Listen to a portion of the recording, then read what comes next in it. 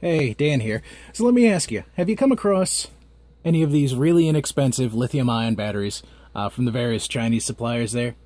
Have you thought, you know, is that actually worth wasting any money on, or is this going to be a fake? Is this going to be a battery filled with sand, a smaller battery in a steel tube? Is it just going to be nothing near the rated capacity there? Is it even worth wasting your time on? Yeah, I have seen some horror stories out there. People have really gotten scammed when they were trying to order batteries, and that would really hurt if you're buying uh, a bunch of them at once. I figured it was time to find out for myself, since I've got a project coming up where I'm going to need a number of 18650 lithium-ion cells. So I went ahead and ordered an assortment of batteries from a couple of different suppliers there. I've got a couple that I've had sitting around uh, that I may know a thing or two about already.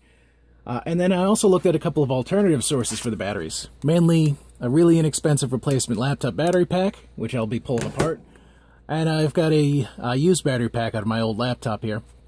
This thing I know is partly dead, it's probably got at least one dead cell in it, but we'll see if there's anything of use in there.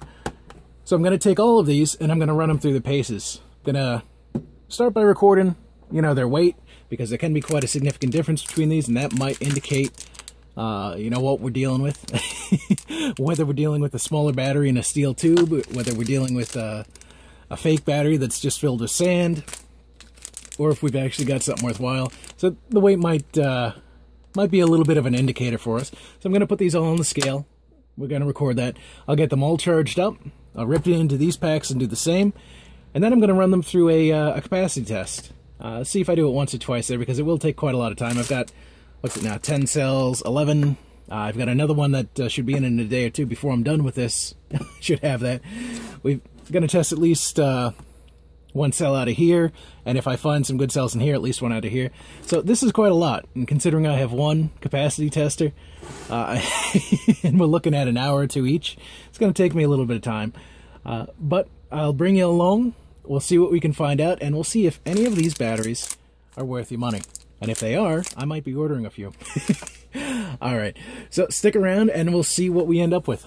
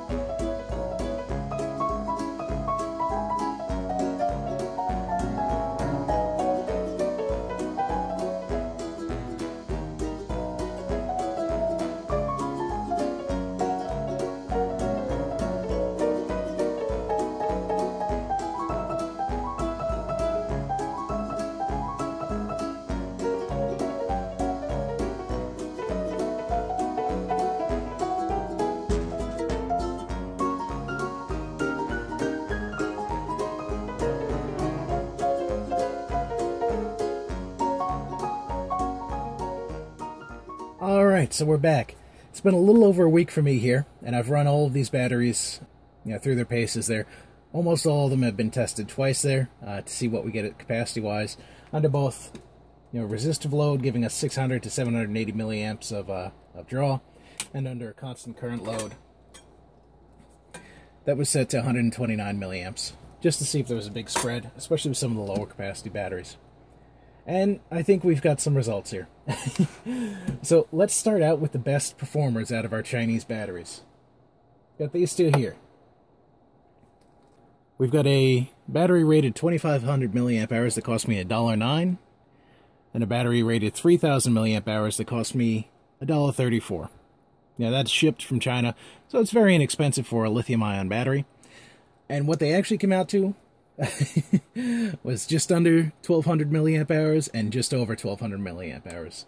Uh, specifically, we were reading uh, 1134 and 1257 when I ran these. Now, consequently, these are also the heaviest out of the Chinese batteries that I picked up, which is interesting there, that the mass actually correlates with the uh, the capacity.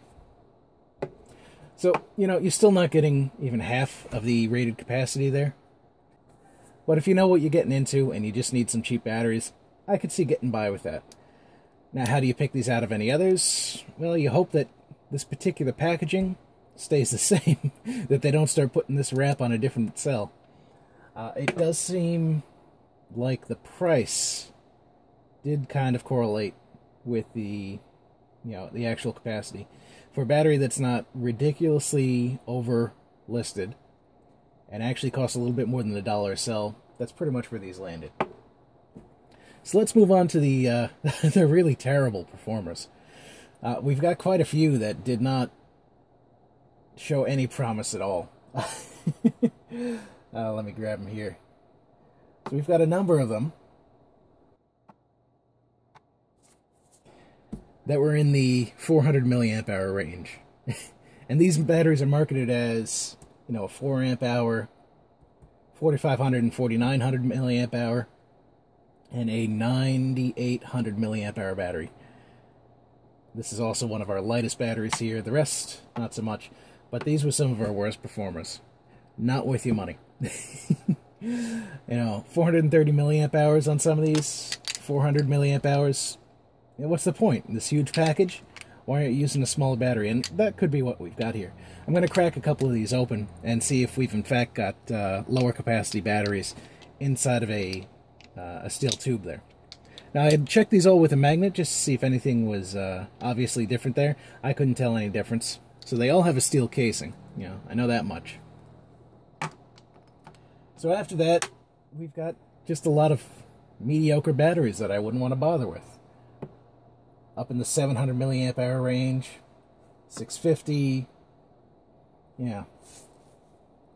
710, 740. Not worth your money. And these, the only good performer out of the higher rated batteries is this guy here. Which is interesting because it's almost the same packaging, same branding as the other guy here, the 9800 and the 9900. Big difference in the weight of the two. But this 9900 milliamp hour battery only actually provided uh, 1011. so it's a 1 amp hour battery. Also cost $1.30. So it cost more than our better performers that were rated more reasonably. So as far as the the Chinese batteries go, my conclusion only if you really need it. Otherwise, they're kind of a waste of your time. You know, a lot of these, a lot of these I wouldn't even use for one of my bananas. Now, onto the laptop batteries. We've got the cells that I pulled out of an old, very used Sony uh, pack.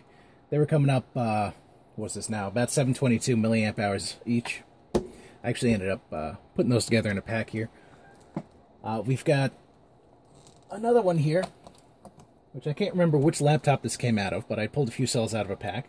Uh, this one read, you know, around 906 milliamp hours, well below its original rating. Uh, this was, let's see, let's see.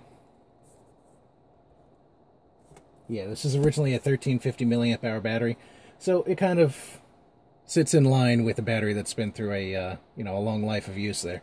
Yeah, the laptop batteries really get uh, really get hammered there. yeah, people leave the laptop plugged in all the time. It's drained down all the time. It really depends on how uh, how good the protection circuitry is to try and keep these things working. But okay, that's a, a well-used laptop battery. But we do have a clear winner.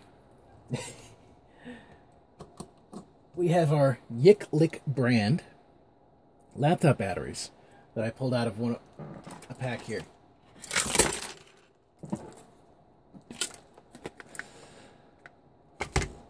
Which are rated uh, 2200 milliamp hour by the manufacturer.